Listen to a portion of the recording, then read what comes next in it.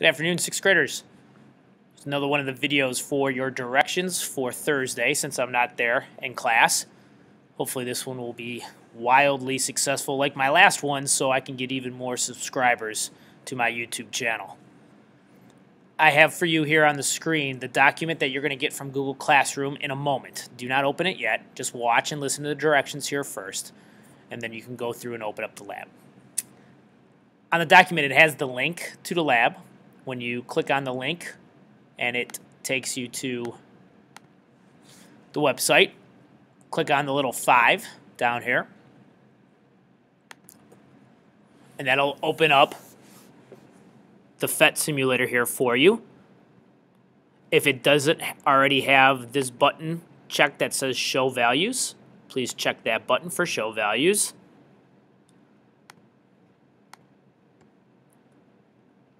When you go through the lab sheet, all the directions are on this lab sheet, so it should be pretty self-explanatory to you.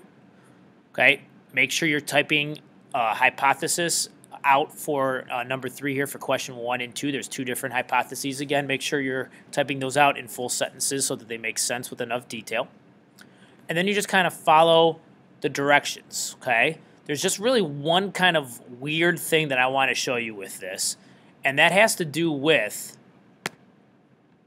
when you're looking at these values. All right, now first of all, it tells you in the directions that you're using the dot in the middle of this sphere here as kind of your marking place. So if it says to move them five meters away, that means five meters from the center of that sphere.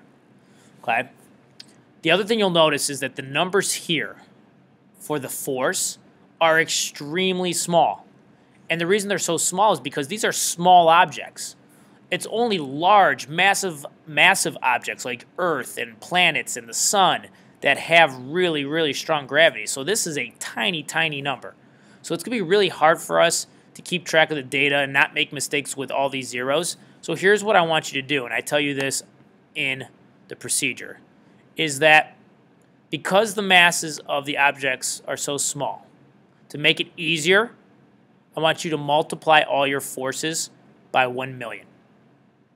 You're going to multiply all those forces by 1 million. So you'll take this number, multiply it by 1 million to get that value, multiply this by 1 million to get that value. You know how many zeros there are in a million, six. So in other words, you're moving the decimal six places, three, four, five, six. So the number that you would record would be 0.026301. Okay, that's the number you would use so that they're easier, a little bit easier to work with. They're still really small, but they're just easier to work with. Just kind of pay attention here, a couple things. Number five, graph.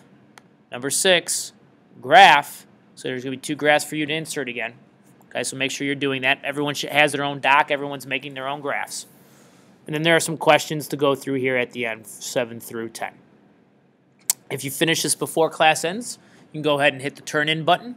This is uh, this is going to be due tomorrow. So if you don't finish it in class, you have to finish it on your own for homework tonight.